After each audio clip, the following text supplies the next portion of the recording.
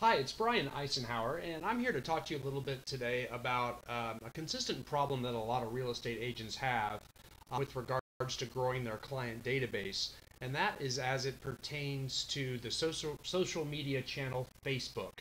Um, Facebook, uh, we often have lots of friends and we're connected to a lot of people we know on Facebook, but we have a hard time importing or transferring all of those relationships and contacts into our customer relationship manager, our CRM, uh, where we keep our client database. And it's out of a CRM typically we are able to stay in contact uh, with the people we know, uh, with mailers, uh, emails, or even telephone numbers to make phone calls and reach out to them.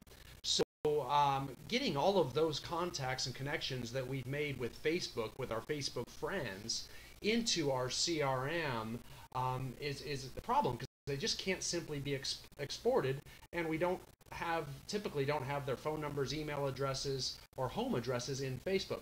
So uh, what we recommend is the following method uh, to be able to take all those connections and move them uh, to your uh, client database uh, in a permissive manner too. And it's real simple. What you do on Facebook, you actually use the direct message feature.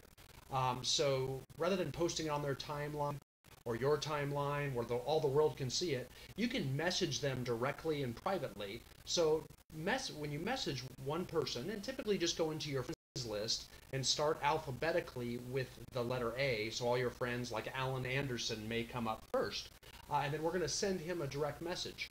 Uh, message may be something along the lines of.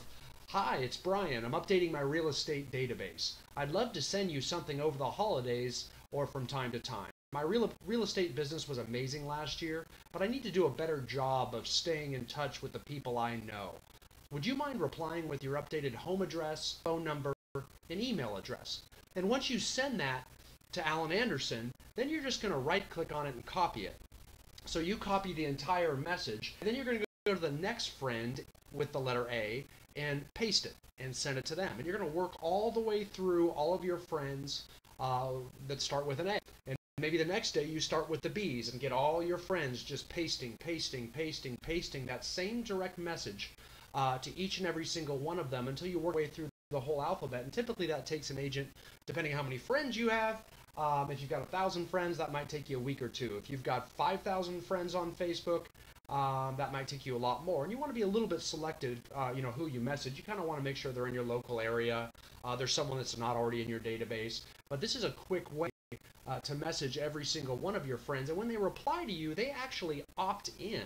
So they're actually offering their contact information to you, which means expect to be contacted with emails, phone uh, phone calls, or uh, mailer, that type of thing. So these are, and, and, you, and you're actually contacting them. And, and in that message, I actually mentioned that I was in real estate twice. So this is a touch. This is a contact to a member of your database that really warms it up. And oftentimes, a lot of agents actually get uh, business just from doing this activity uh, because you're reaching out to a lot of people and reminding them that you're in real estate.